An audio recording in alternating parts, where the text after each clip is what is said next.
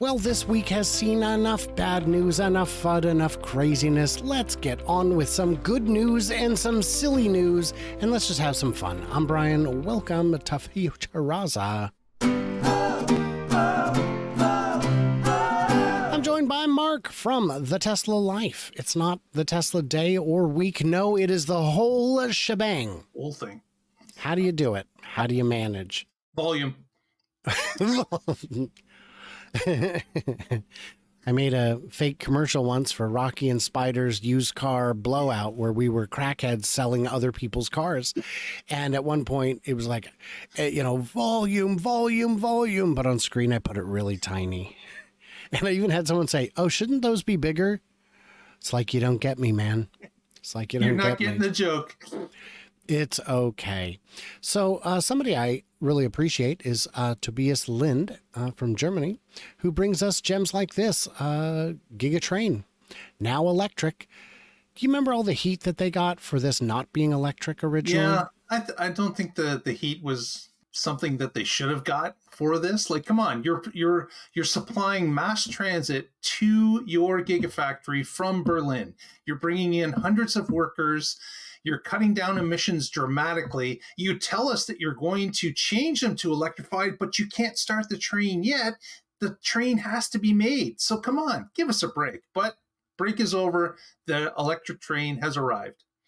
And I suspect that this is the actual train. Do you know how I can tell? uh, for those listening on uh, a tin can, it says Gigatrain on the side. Yeah, So kind of gives it away, doesn't it? It does. And you're right. This is clearly a brand spanking new uh, set of carriages here. And that um, is certainly part of the delay because what they were doing was, and I don't know if they own this train or if they paid for it. The previous one was being operated by the local authority on their behalf. Um, and yeah, you take what you can get. They don't own the whole train line, just the part of it, the spur that goes into the factory grounds. Yeah, I, I believe they're leasing the train because they're they're not into owning trains. They're just they're just leasing it, Maybe so. which makes sense. Like so. you you know, it's something. That, what's Tesla know about uh, fixing electric trains? Uh, maintenance, like it, it doesn't make any sense. Follow your core competency. Don't bother going off into crazy things that are one offs.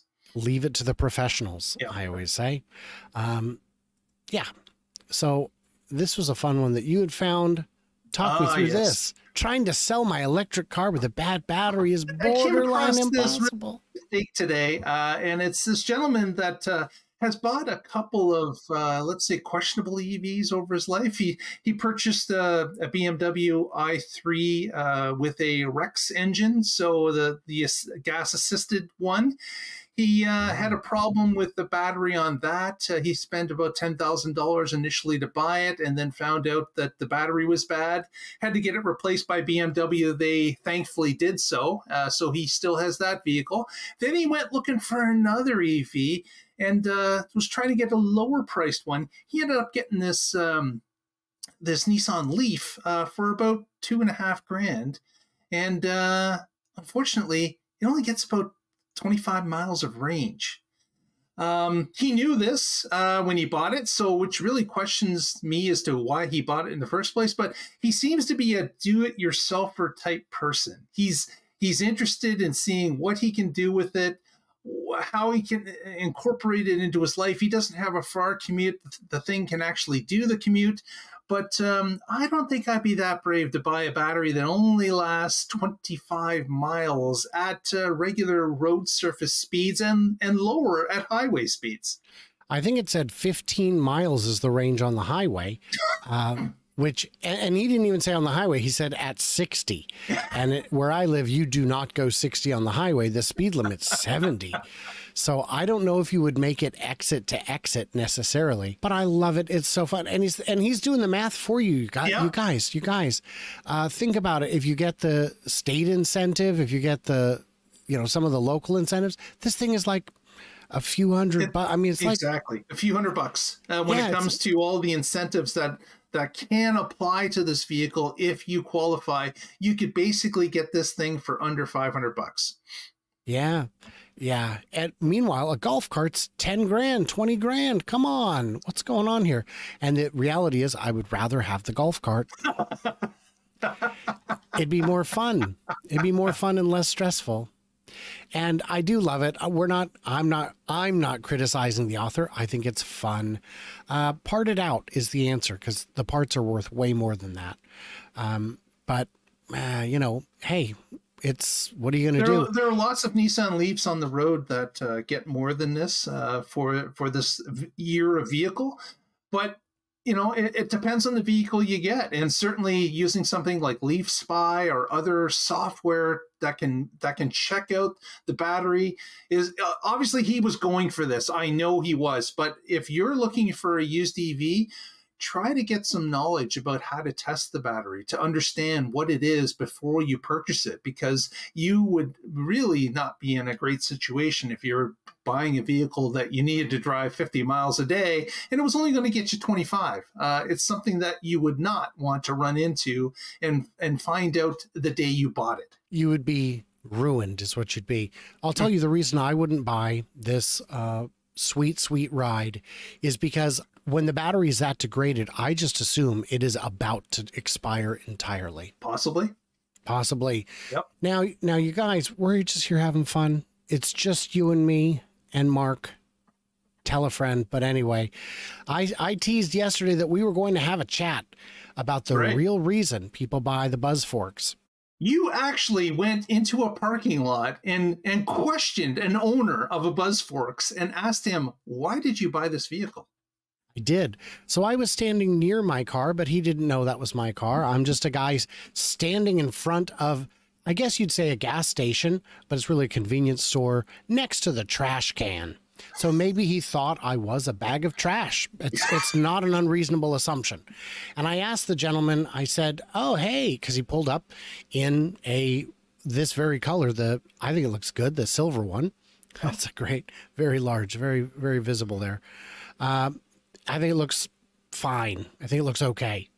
And I said, "Hey, how how you like your Toyota?" And he goes, and he goes, "Good. It's electric." I'm like, "Oh yeah, yeah, yeah," because I couldn't see the fenders from space.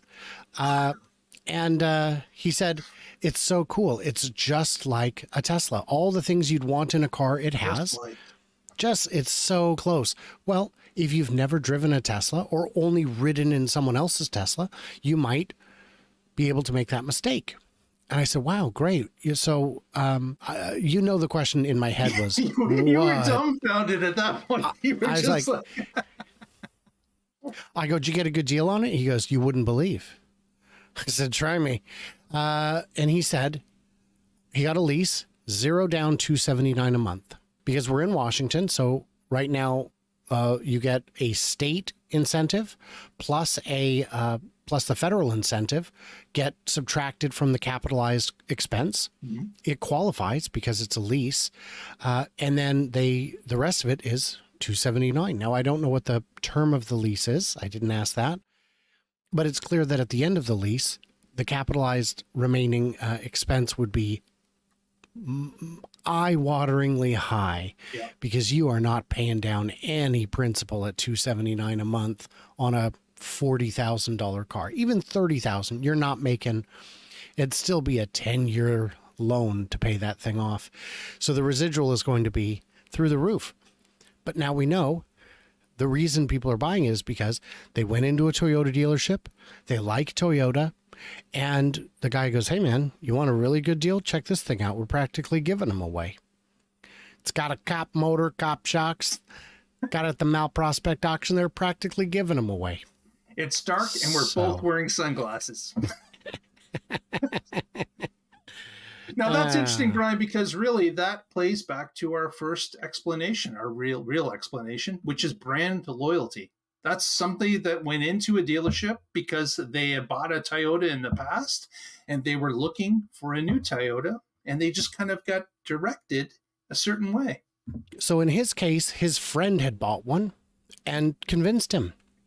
So it was the word of mouth thing again. My friend bought one. It was so cheap. He, he let we drove it. I went in and got one too, which is uh, the by the way the number one way uh, Leafs are sold in Colorado is through Kyle Conner.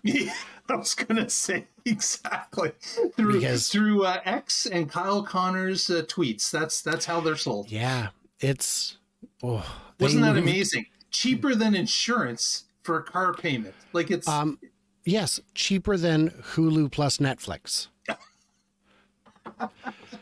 Because for those who don't know what we're talking about, Kyle Conner found that on the Leafs that they were getting rid of because the car is discontinued, a dealership in Colorado had a lease deal that was what was it, 500 down and 20 bucks a month. 20 bucks a month gets you a 24 month lease with I want to say 11 or 12,000 miles a year included. Yep. Um, and at that price, I'd consider it. I don't need one. I mean, 20 bucks a month, 500 down. Uh, that's that's bonkers. The entire life of it, one repair outside of warranty would cost more than that. That's that's not that's crazy. Yep. Uh, and so Kyle Conner got the word out, and they were moving Gone. so many of them that the thing on it, with the offer, had a stamp that said Kyle approved, because uh, because Kyle moved a couple cars that day. Yeah. That that week there was probably three four days and they, and they were just all gone. Yeah. And plus the next truckload that isn't in yet.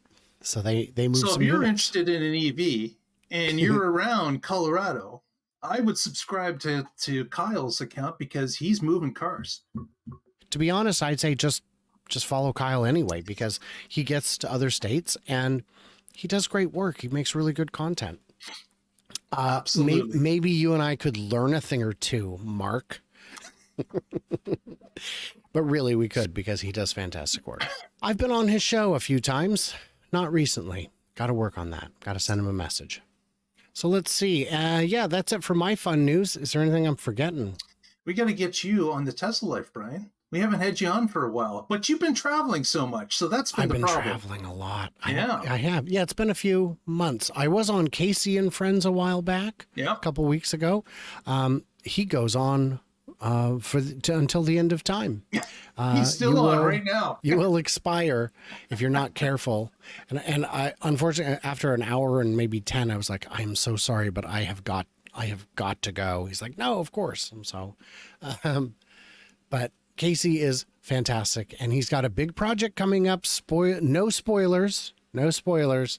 He's got a big project coming up. He's going to be making a series of videos. Casey Green, uh, Mark's co-host over there on the Tesla Life, along with Patrick, and uh, it's going to be a lot of fun. And I'm excited to see how it goes. And I guarantee you, he is definitely not overthinking the heck out of it. He is. He is.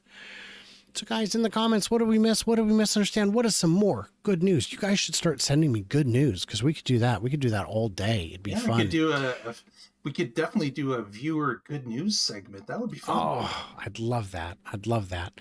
So, uh, yeah, like, subscribe, do the usual. If you get a chance and you're so inclined, uh, you could always, um, you know, uh, help me out. You could uh, become a patron, a YouTube uh, channel member, or an X subscriber. All of those. Uh, throw a couple nickels in my tin can, my little tin cup. That I use not only to collect your offerings, but also I drink my coffee out of it at the same time. So it's probably not good for me, but I can't afford a doctor to find out. Only so, three, only three trips to the emergency room. I say you're good. the nickels are mostly load bearing, so they're structural. What are you going to do? I mean, get nickel poisoning? Maybe. I don't know.